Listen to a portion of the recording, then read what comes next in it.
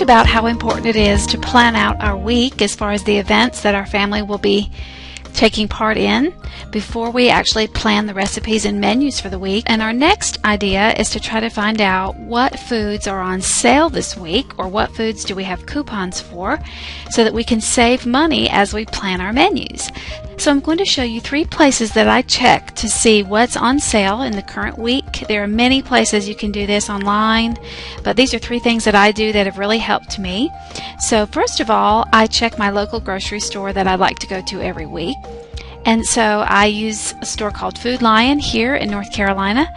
And I'm noticing that this week, pork loin, half boneless, is on sale for $1.99 a pound. And I know that my husband would love pork loin as a menu, as a recipe, so I'm thinking about that item. And there are several other things here in the meat category. Of course, you can check for all kinds of things here on this site, not just meat, but I did notice that pork loin. The second place that I check for special deals this week is my email, where I actually have some coupons sent directly to me every week.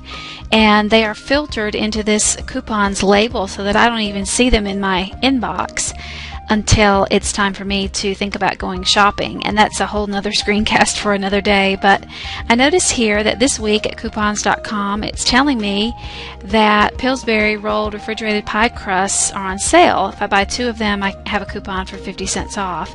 And I make a mean chicken pie. Um, that's a recipe from my mother in law. And I use those refrigerated pie crusts for that. So that might be a good menu for this week as well. I might want to include chicken pie this week since those pie crusts are on sale.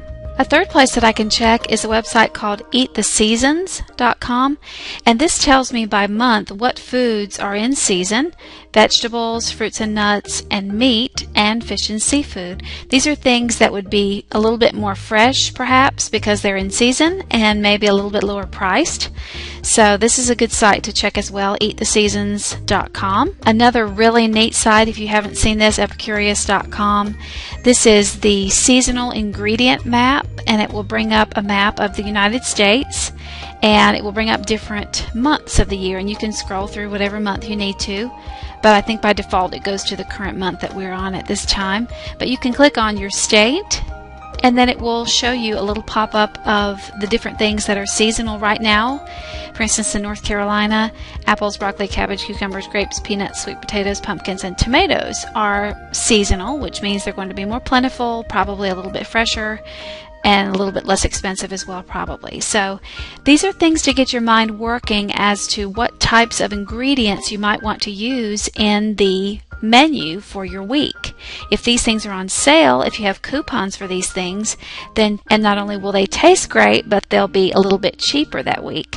So this is a great idea. You would have to do it on a weekly basis because you don't get those weekly ads from your grocery store on a monthly basis. You'd have to do it on a weekly basis, but I like to plan by the week anyway, so this works great for me.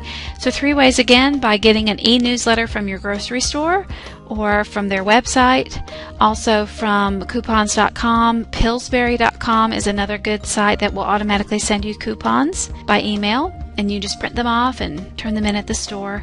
And then eattheseasons.com and then this peak season map at epicurious.com. So those are some great ways to find out what's going to be on sale that particular week and be able to help you to find menus, and we'll talk about that in another screencast, menus that go with those items or that include those items, and then you can have tasty items for a lower price that week. So, good luck as you look for your seasonal foods or foods that are on sale that week.